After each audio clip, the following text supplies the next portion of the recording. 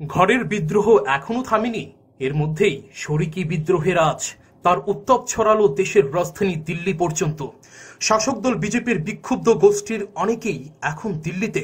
মঙ্গলবার তাদের হয়ে রামপ্রসাদ পালের নেতৃত্বে চার বিধায়ক বৈঠক করেন দলের সর্বভারতীয় সভাপতির সঙ্গে।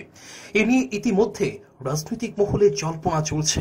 সূত্রের খবর শাসকের অফিসিয়াল গোষ্ঠীও বেশ অস্বস্তিতে। এরই মধ্যে সামনে এডিসি ভোট।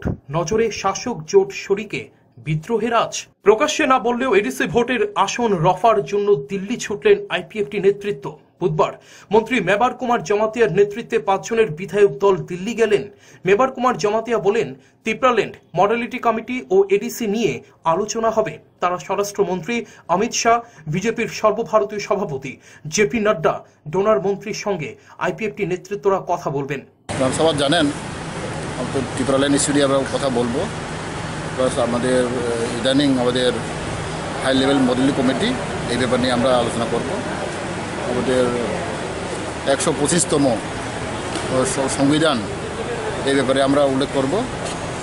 আর আমরা আছি আরও ওই রিসেন্টলি আমাদের এডিসি ইলেকশন নিয়ে আমরা আলোচনা করব।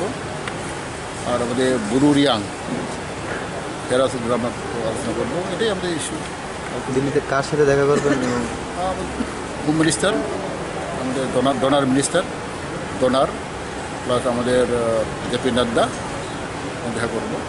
এভাবে মন্ত্রী বিধায়কদের দিল্লিমুখী হতে দেখে বেশ অস্বস্তিতে বিজেপির ক্ষমতাধর গোষ্ঠী মনে করছেন রাজনৈতিক মহল।